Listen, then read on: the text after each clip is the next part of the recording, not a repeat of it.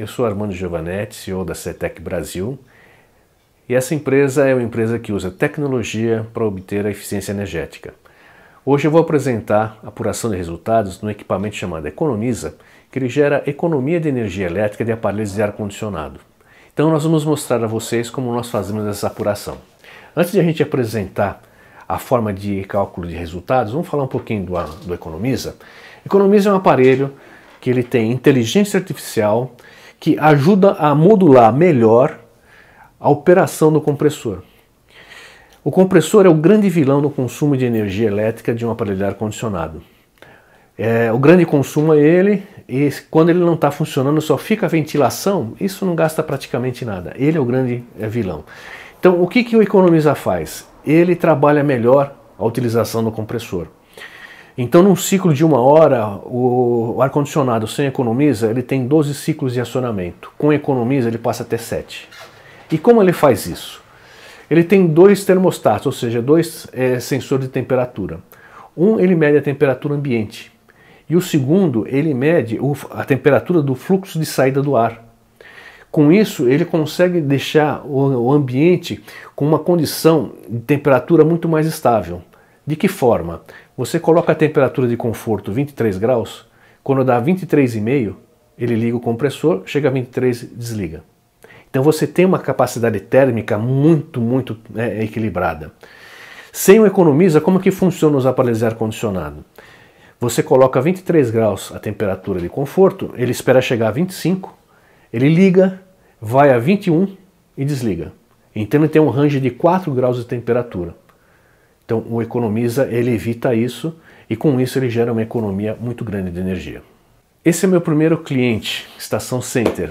Esse cliente eh, comprou da gente e nós conseguimos uma economia de 41% no piloto que nós fizemos. E nós colocamos 20 peças do Economiza em 20 aparelhos, sendo 12 aparelhos na sala de cinema. E os outros 8 aparelhos na área de alimentação e na área de jogos que ele tem dentro do shopping. Isso aqui é um shopping em Franco da Rocha. Centerplex Cinemas. Isso aqui é outro cliente que nós estamos conversando. Fizemos um teste com seis aparelhos, em três aparelhos em cada sala, são duas salas de cinema. E a economia obtida foi 31,77% no consumo de energia elétrica dos aparelhos de ar-condicionado. O retorno do investimento deu num prazo muito pequeno, 5,2 meses. E por que um prazo tão pequeno nesse retorno? Nós vamos mostrar isso para vocês. Como nós calculamos isso? Centerplex aqui são apuração de resultados. Nessa primeira coluna que você está vendo aqui, é sem o economiza. E a segunda coluna com economiza. Então vocês podem ver que o quilowatt médio tá, consumido sem economiza 7,36. E o outro foi para 4,60. Você a diferença é bastante grande, né? Por isso 31% de economia. Aqui é o cálculo de apuração. Isso aqui é uma, uma planilha é onde nós colocamos a capacidade, o, o equipamento de ar-condicionado, sua capacidade em BTUs, o consumo, isso aqui está é, no, no datasheet do equipamento, o consumo apurado com economiza e a gente tem o quilowatt da Centerplex que ele paga na conta de energia dele, ok? Com isso a gente tem condições de fazer esse cálculo e saber quanto que ele gasta sem economiza, quanto que ele gasta com economiza, a diferença desses dois valores, você vê, 634 reais por mês de economia em cada aparelho.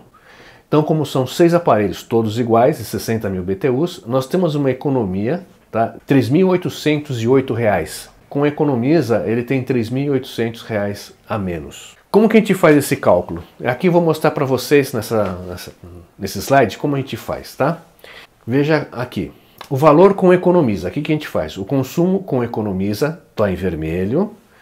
Multiplicamos por 30 dias para saber o consumo do mês, as 10 horas que ele fica utilizando e o preço do quilowatt que está na conta de energia. E a gente tem o valor da economia.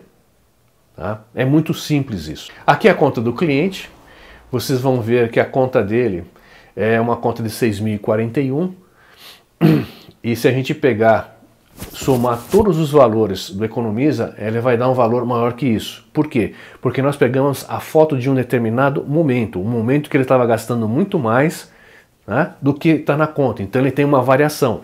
Então lembrem bem, nós estamos pegando a foto de um momento. O resultado aqui. Então essa planilha mostra o resultado, tudo que nós fizemos e a economia gerada para ele. É um valor considerável. Né? Com isso a gente pode oferecer o produto em seis meses e seis meses ele paga o investimento.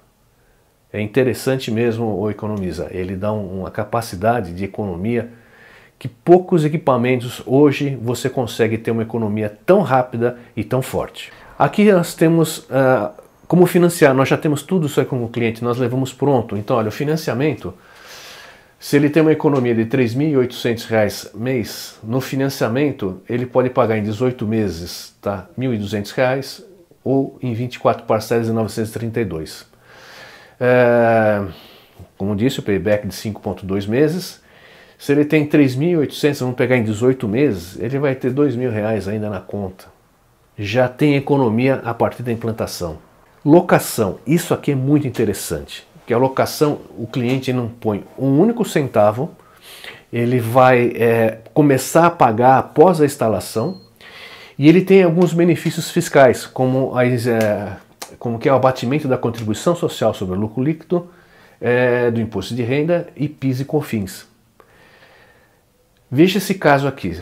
É 24 parcelas, ele não faz em 18, ele faz em 12, 24. Essa aqui é a empresa Grenk que faz a locação dos equipamentos, tá? Ela faz em 12, 24, não faz em 18, é questão de conversar, mas por enquanto só anual, tá? Então 24 parcelas, 988.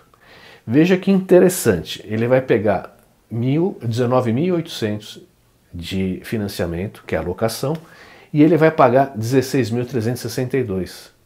Que diferença é essa? É o abatimento da contribuição social do lucro líquido, tá? que é o imposto de, e o imposto de renda que ele tem de pessoa jurídica. É, entenda que a prestação 988, ele vai ter o abatimento na contabilidade. Quem vai fazer isso é o contador, que vai dar esse valor aqui. Então ele vai jogar como despesa isso. E para ele é bastante interessante que ele aumenta a lucratividade da empresa. Como eu calculo o payback? Vamos mostrar para vocês como a gente faz. Tá? a gente pega o valor de venda do equipamento e divide pelo valor da economia. Aí a gente consegue chegar nesses valores, né? Nesse caso aqui desse meu cliente, de 5,2 meses. Muito simples.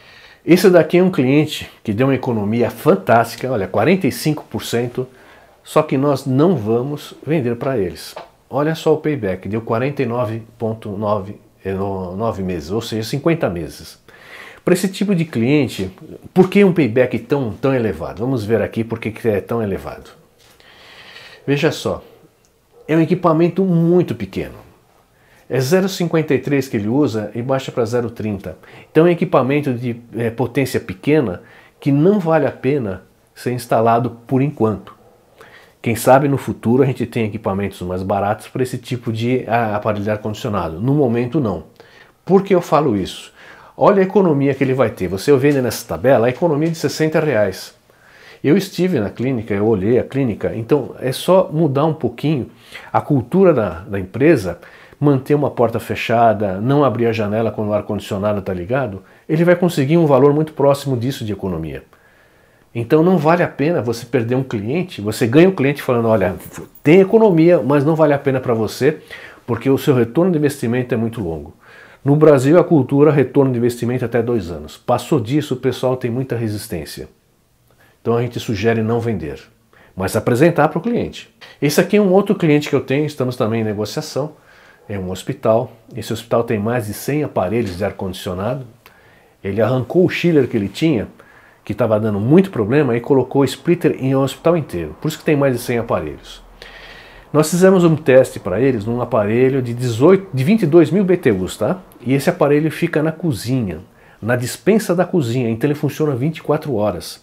Nós conseguimos uma economia de 30% e o payback deu de 13 meses. Muito bom.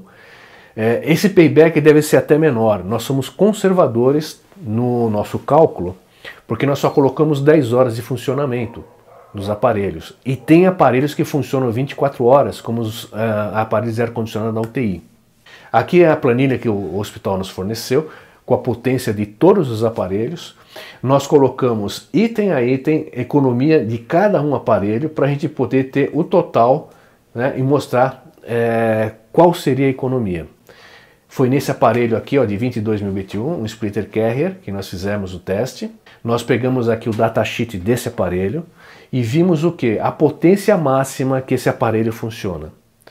A gente pega a potência máxima, ver a potência que ele estava usando, que o multimedidor vai dar essa, essa informação, e a gente vai saber quantos por cento do equipamento estava sendo usado. Então, olha, nós pegamos o datasheet, o valor 6.45 kWh, que é a potência máxima, e o multimedidor apurou que esse equipamento funciona a 1.9 kWh. Então veja que diferença que é. Esse valor máximo, o equipamento talvez nunca atinja isso durante o ano. Se atingir um dia, mas é, é muito, muito raro o equipamento ele é, funcionar 100% da sua capacidade. Tá? Então a gente faz uma regra de 3 simples e a gente vê que 30% da capacidade total dele que está sendo usada nesse ambiente. Tá? Aqui é a regra. Daí a gente coloca isso na planilha de cálculo e a gente consegue, usando aqueles mesmos cálculos que eu mostrei na planilha anterior, né, para fazer o cálculo do payback, a gente consegue chegar nesses valores de economia. Então nós pegamos o quilowatt máximo do equipamento de 36 mil BTUs, na planilha anterior dava 10.55 e calculamos 30% deles. Que nesse de 36 mil BTUs nós não colocamos o multimedidor. Então nós usamos como padrão o que foi obtido de economia tá, no equipamento que foi feito o teste, que era de 22 mil. Então é uma premissa para a gente fazer esse cálculo. Tá? Então, como ele tem 10,55 kW de potência máxima, calculando 30%, ele trabalha com 3,16 kWh. Então, fazendo a regrinha de 3, é, é, você pode ver que tem aqui um aqui, é, que eu coloquei um valor menor, 2.64 porque eu coloquei 25% do equipamento. Para quê? Para o payback ficar um pouco maior, porque a pessoa pode achar, o dono da empresa vai achar, nossa, esse cara está fazendo é, números aí muito é, elevados, eu não vou acreditar. Então eu coloquei um valor menor para dar um payback maior, que assim mesmo deu 18 meses, é extremamente curto o payback, para que o cliente, a hora que instalar, ele tenha uma surpresa muito grande, que o que nós fizemos é, foi é, muito conservador, nós vamos conseguir números maiores para ele. Tá? Dúvidas, qualquer é, pergunta que vocês tenham, por favor, tenha aqui meus contatos, vocês me mandam, e eu terei o maior prazer em responder a vocês. Muito obrigado.